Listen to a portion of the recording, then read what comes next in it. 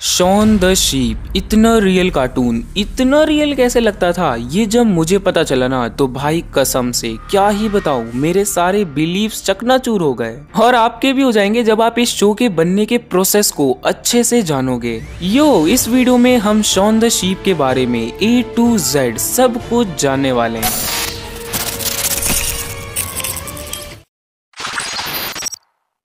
Kishan Lal captain Shaun और Shaun का पूरा फ्लॉग तो आपको याद ही होगा।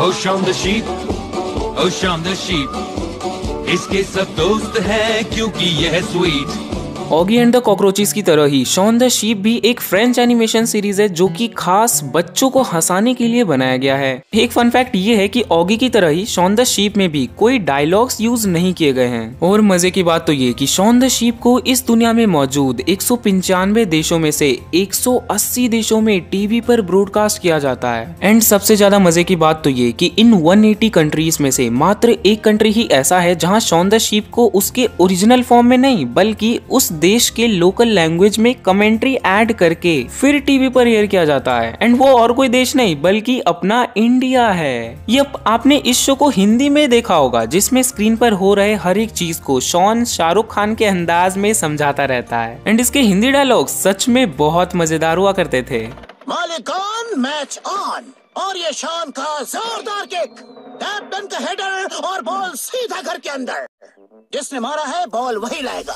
सौरभ चक्रवर्ती, इन्होंने ही शॉन द शीप के सभी एपिसोड्स को हिंदी में नरेट करने का काम किया है। एंड नो डाउट इन्होंने हम सभी को हंसाने में कभी भी कोई कसर नहीं छोड़ी है। चाहे वो ऑगी के सभी कैरेक्टर्स को अपनी आवाज़ देकर की हो, या मोटू, पतलू एंड पकड़म पकड़ाई के सभी कैरेक्टर्स को अपनी आवाज़ देकर, इन्होंने हर बार हमें हंसाया और हमारे बचपन के दिनों को यादगार बनाया। और सच बात यही है की जब हम किसी के साथ जुड़ते हैं तो 50% से ज़्यादा तो हम उसके आवाज़ के साथ जुड़ते हैं। फॉर एग्ज़ाम्पल डोरेमोन आपका तो नहीं पता बट मैं डोरेमोन के हिंदी आवाज़ के साथ बहुत ज़्यादा जुड़ा हुआ था। एंड जब बाद में डोरेमोन की हिंदी वॉइस चेंज हो गई तो वो अपनेपन वाली फीलिंग्स ही खत्म हो गई। मोस्ट प्रोबेबली आपके साथ भी यही हुआ होगा। वेल well, एक फन फैक्ट सुनो। American animation Tom and Jerry से इंस्पायर्ड होकर फ्रांस वालों ने ऑगी एंड द कॉकरोचेस बनाई। और ऑगी एंड द कॉकरोचेस से इंस्पायर होकर इंडिया ने पकड़म पकड़ाई बनाई। और एक एक्स्ट्रा फैक्ट ये कि इन तीनों शोज़ को बहुत सारे कंट्रीज़ में एयर किया जाता है वो भी किसी डायलॉग्स के। And same scene Shaun the sheep के साथ भी है। शॉन द शीप को भी कई देशों में as a kid show TV पर एयर किया जाता है। वो भी बिना किसी डायलॉग्स के।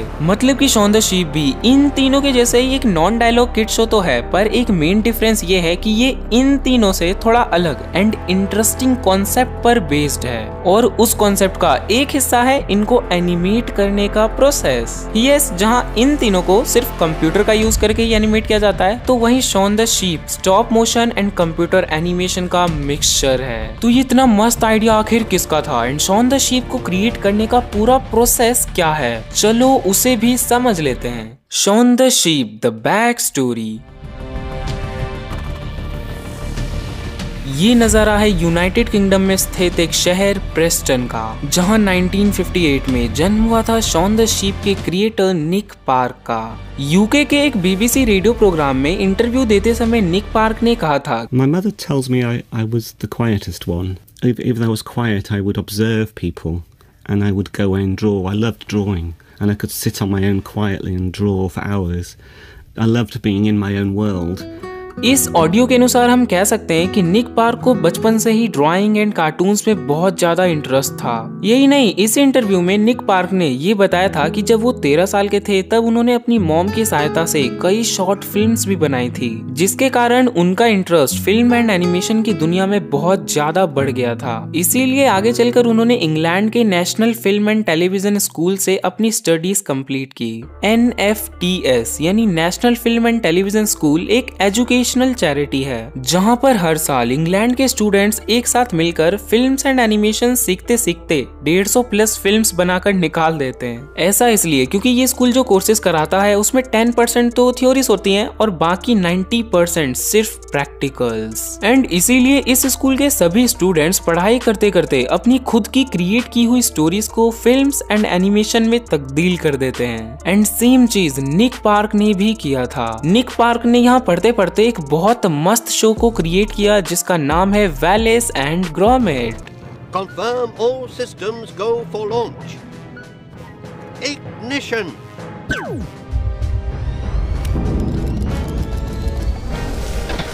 और यहाँ से असली कहानी शुरू होती है। साल 1985 में निक पार्क ने एक ब्रिटिश स्टूडियो आर्डमन एनिमेशंस में एक एनिमेटर के रूप में जॉब करना शुरू किया। वेल, आर्डमन एनिमेशंस एक ऐसी स्टूडियो है जो क्ले एनिमेशंस का यूज़ करके फिल्म्स बनाती है। नाउ, क्ले एनिमेशंस को भी समझ लो। सी, एनिमेशंस बहुत टाइप के होते हैं, जैसे traditional animations, computer animations, sand animations, and stop motion या क्ले एनिमेशंस एसेट्रा देखो, एनिमेट करना मतलब किसी भी चीज़ में मूवमेंट या मोशन लाना होता है। तो यदि आप एक सेकंड का कोई टू एनिमेशन बनाना चाहते हो तो उसमें आपको 24 अलग अलग फ्रेम्स ड्रॉ करने होते हैं, जिसे बाद में एक साथ देखने पर आपको उन ड्राइंग्स में बने कैरेक्टर्स में मूवमेंट दिखती है। यहाँ एक फन फैक्ट सुनो, आप एक सेकंड के क्लिप के लिए जितने ज़्यादा फ्रेम्स बनाओगे, उतना ज़्यादा आपका एनिमेशन स्मूथ दिखेगा। जैसे ओल्ड अमेरिकन एनिमेशन में एक सेकंड के लिए 60 फ्रेम्स बनाई जाती थी, जिसके कारण उनका एनिमेशन एकदम मक्खन की तरह चलता था। था और जापानीज एनिमेटर्स एक सेकंड के लिए 12 से 24 फ्रेम्स ही बनाते हैं, जिससे उनके एनिमेशन के स्मूथनिंग पर सीधा असर पड़ता है। तो मैं इन सबको एक्सप्लेन ना करते हुए आपको स्टॉप मोशन एनिमेशन के बारे में बताता हूँ। सो स्टॉप मोशन इसे आप क्ले एनिमेशन भी कह सकते हो, क्योंकि इस एनिमेशन टेक्निक में कैरेक्टर्स को ड्रॉ करने की जगह उनका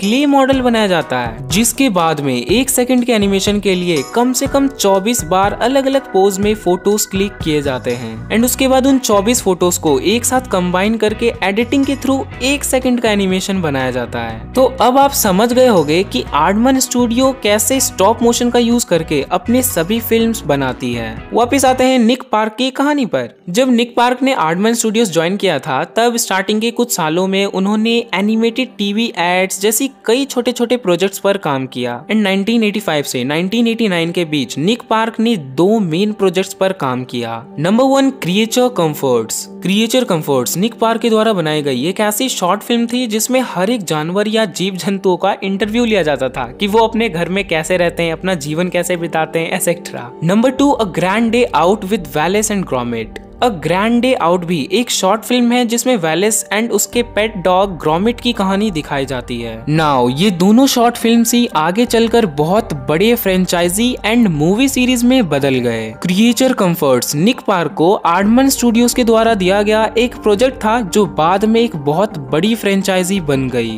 And a grand day out with Wallace and Gromit Nick Park का ही खुद का एक प्रोजेक्ट था जिस पर वो 1982 से काम कर रहे थे। और आर्डमन स्टूडियोज ज्वाइन करने के बाद भी उस पर पार्ट टाइम वर्क करते रहते थे। 1989 में अ ग्रैंड डे आउट के रिलीज़ होने के बाद ये लोगों के बीच इतना ज़्यादा पॉपुलर हो गया कि वैलिस एंड ग्रोमिट को लेकर इस फ़िल्म का part two part three part four और पार्ट फाइव भी बना दिया गया। ये कहना बिल्कुल गलत नहीं होगा कि वैलिस एंड ग्रोमिट के सभी शॉर्ट फिल्म्स ने निक पार्क को बहुत ज़्यादा पॉपुलैरिटी दिलाई। लेकिन निक पार्क का एक और बहुत मस्त क्रिएशन अभी बनना बाकी था और वो था शॉन द शीप शॉन का फ़र्स्ट अपीयरेंस 1995 में आई वैलिस एंड ग्रोमिट के third short film a close shave में हुआ था।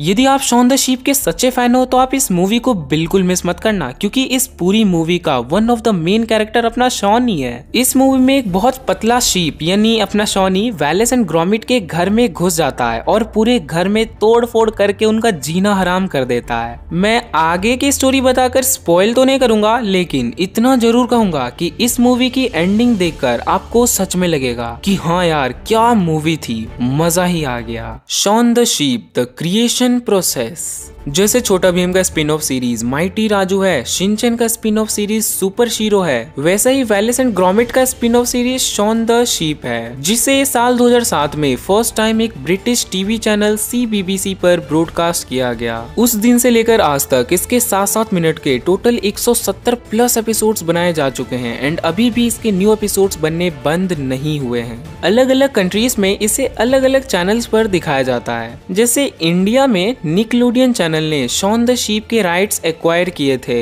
जिसमें उन्होंने हिंदी में कमेंट्री ऐड करके उसे अपने चैनल पर प्रसारित किया था। बाद में निकलूडियन की सिस्टर चैनल सोनिक पर भी शॉन द शीप को एयर किया गया और मैंने फ़र्स्ट टाइम सोनिक पर ही इस शो को देखा था। आपने इस शो को सबसे पहले कौन से चैनल पर देखा था? कमेंट में ज़रूर बताना। वेल well, इस वीडियो को बनाने से पहले मैंने शॉन द शीप के बहुत सारे एपिसोड्स देखे। कुछ हिंदी में तो कुछ ओरिजिनल लैंग्वेज में मतलब विदाउट एनी डायलॉग्स एंड हालाँकि मैं शॉन द शीप के हिंदी वर्जन के साथ बहुत ज़्यादा जुड़ा हुआ हूँ, पर फिर भी मुझे इसके ओरिजिनल सीरीज़ को देखने में ज़्यादा मज़ा आया। आप भी एक बार दोनों वर्जन को दोबारा देख ट्राई कर सकते हो कि कौन सा वर्जन ज़्यादा बेटर है। हाँ देखने का जुगाड़ तो हमेशा की तरह मेरे टेलीग्राम चैनल पर मिल ही जाएगा, जिसे आप डिस्क्रिप्शन में दिए गए लिंक पर क्लिक करके ज्वाइन कर सकते हो। वेलेस एंड ग्रोमिट का स्पिन ऑफ़ सीरीज़ यानी शॉन द शीप इतना सक्सेसफुल रहा कि इस सीरीज़ का भी एक spin off series Timmy time निकाल दिया गया, जो कि शॉन द शीप के सबसे छोटे कैरेक्टर टिमी को लेकर बनाया गया है। एंड इस शो का टारगेट ऑडियंस मेनली छोटे बच्चे हैं। इसके साथ साथ 2020 में नेटफ्लिक्स जी ने शॉन द शीप के राइट्स एक्वायर करके इसके सिक्स सीज़न को प्रोड्यूस करवाया, जिसे वो अपने प्लेटफॉर्म पर स्ट्रीम कर रहे हैं। वेल यदि आप इस वीडियो को 2021 में देख रहे हो तो आपके लिए खुशखबरी। वो ये कि शॉन द शीप की एक न्यू मूवी आने वाली है, जो कि क्रिसमस पर रिलीज़ होगी।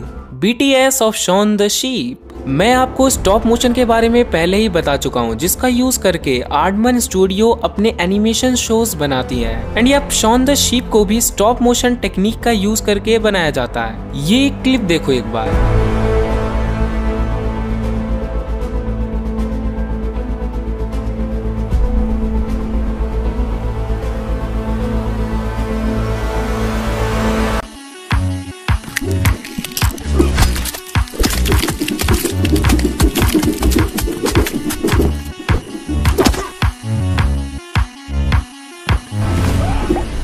इसे देखने के बाद आपको पता चल गया होगा कि स्टॉप मोशन का यूज़ करके दो सेकंड की एक कॉम्प्लेक्स क्लिप बनाने में घंटों लग जाते हैं। एंड शॉन द शीप के साथ भी ऐसा ही कुछ है।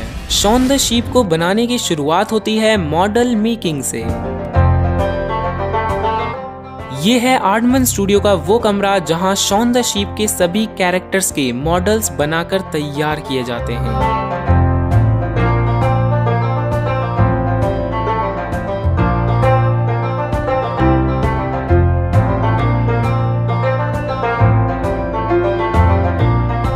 मॉडल मेकिंग के बाद आता है आर्ट डिपार्टमेंट, जहाँ पर कंस्ट्रक्शन से जुड़ी चीज़ें बनाई जाती है। चाहे वो कोई गन हो या कोई भी ऐसा मटेरियल जिसे आप इस शो के कैरेक्टर के द्वारा यूज़ करते हुए देखते हो, वो सारी चीज़ें आर्ट डिपार्टमेंट में बनाई जाती है।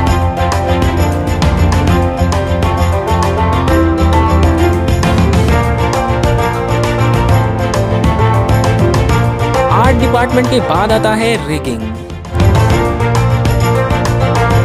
वेल well, रिगिंग का मतलब होता है किसी भी चीज़ को किसी इक्विपमेंट की हेल्प से एक जगह से दूसरे जगह पर मूव करना। जब हैवी कंस्ट्रक्शन होती हैं तो आपने देखा होगा कि कंस्ट्रक्टर्स कुछ रिगर्स जैसे रोप या क्रेन का यूज़ करते हैं। ठीक उसी तरह शॉन द शीप में भी कैरेक्टर्स को मूवमेंट देने के लिए जितने भी तरह के रिगर्स की ज़रूरत होती है उनको बनाने का काम रिगिंग डिपार्टमेंट करता है।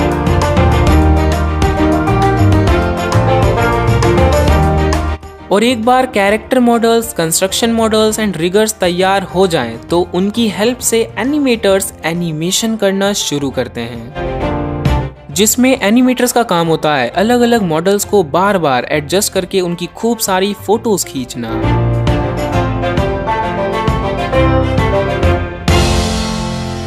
Finally the last part is story and editing इस स्टेज पर एडिटर्स स्टोरी बोर्ड के अनुसार सभी इमेजेस को एक साथ जोड़कर एडिट करने का काम करते हैं। साथ साथ वॉइस एक्टर के द्वारा दिए गए साउंड्स एंड बैकग्राउंड म्यूज़िक को ऐड करने का काम भी इसी स्टेज पर किया जाता है।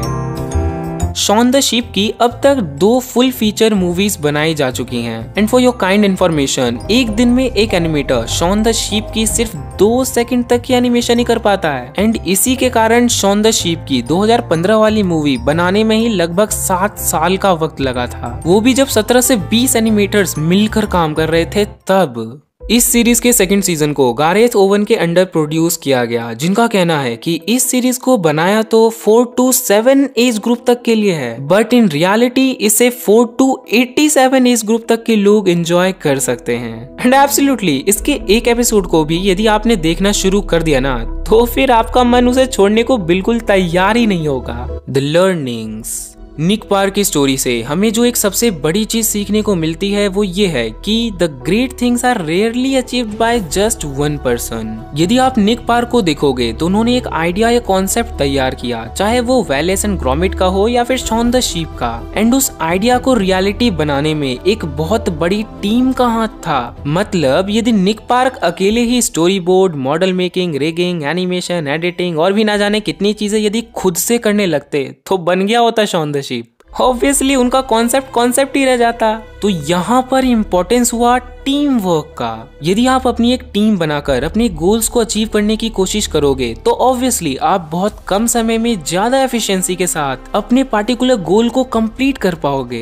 मतलब यदि आप भी एक घर बनाना चाहते हो तो खुद अकेले ईंट और सीमेंट लेकर शुरू मत हो जाओ। अपनी एक टीम बनाओ और उन सबको एक स्पेसिफिक काम असाइन करो। और फिर देखो, जो घर आप पचास साल में बनाने वाले थे, वो कैसे टीम वर्क के थ्रू पाँच साल में बनकर तैयार हो जाएगा। अब यहाँ लिटरल मीनिंग मत निकाल लेना कि मैं आपको घर बनाने ही कह रहा हूँ। अरे नहीं भाई, हो सकता है कि आपको भी कोई टीवी शो कोई मूवी या खुद का कोई बिज़नेस बनाकर खड़ा करना हो। तो वो सब आप तभी कर पाओगे जब आपके पास भी एक टीम होगी। कंक्लूजन के रूप में unity is strength when there is teamwork and collaboration, wonderful things can be achieved.